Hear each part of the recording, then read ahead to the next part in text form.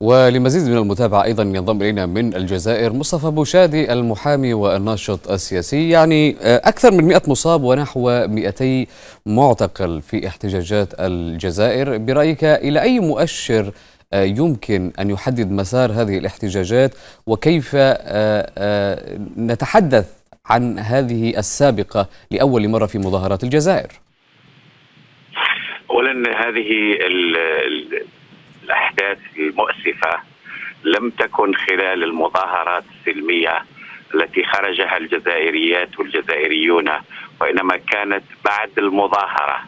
ولست أدري لا يمكن أن أتهم أي طرف ولكن يمكن أن تكون هذه آه، بفعل بلطجية إحدى عصب النظام السياسي. آه، لكي آه، للقول أو للزج أو للحديث على أن المظاهرات ليست سلمية. هذا حدث الأسبوع الماضي بعد انتهاء المظاهرات السلمية. واليوم البارحه كذلك حدث بنفس الطريقة. اذا هي ليست من المتظاهرين.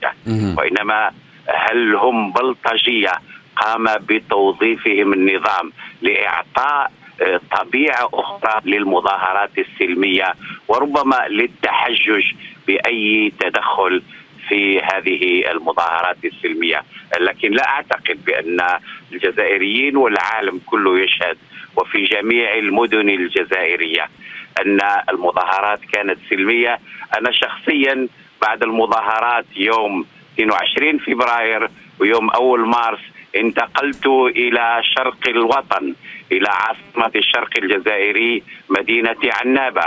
وكان هناك أكثر من 200 ألف متظاهر ولم تحدث أي مناوشة أو أي عنف خلال المظاهرات. طيب ماذا تتوقع من المتظاهرين أن يقوموا به بعد آه، هذا الأمر وهو اعتقال ربما 200 في احتجاجات الجزائر؟ آه، ما الذي سيقوم به المتظاهرين لإثبات أن ما يقومون به هو عمل سلمي محض؟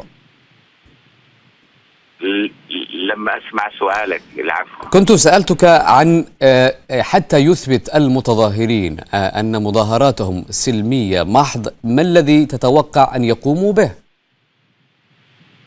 أعتقد بأن يجب أن يكونوا حذرين أكثر لماذا هذه ثورة هذه ثورتهم السلمية؟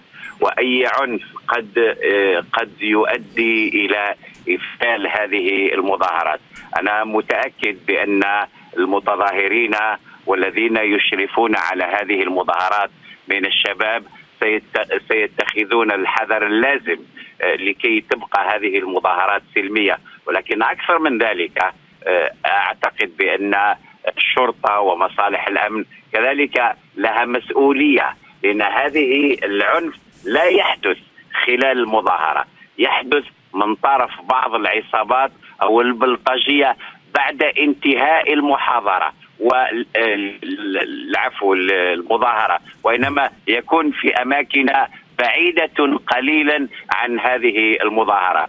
أعتقد بأن يعني بالنسبة كل ولايات الوطن وكل مدن الوطن التي اتسمت هذه المظاهرات بالسلمية هذه المناوشات القليلة التي حدثت البارحة مساء بالعاصمة. لا يمكن أن تنزع عنها فكرة سلمية. طيب ما هو المنحنى القادم بالنسبة لمظاهرات الجزائر في ظل هذا التصعيد بغض النظر عمن قاموا بهذه الاشتباكات مع الشرطة الجزائرية ومن قام بالاعتقال؟ ما هو المنحنى الجديد بعد هذا التطور تحديدا؟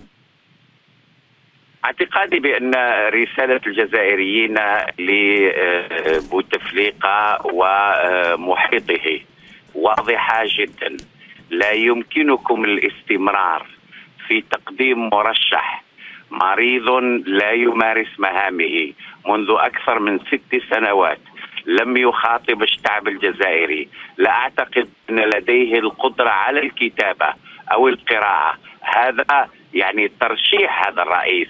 كان نوع من الاستفزاز للشعب الجزائري وكان هناك إحساس بالاهانه آه، بين شعوب العالم.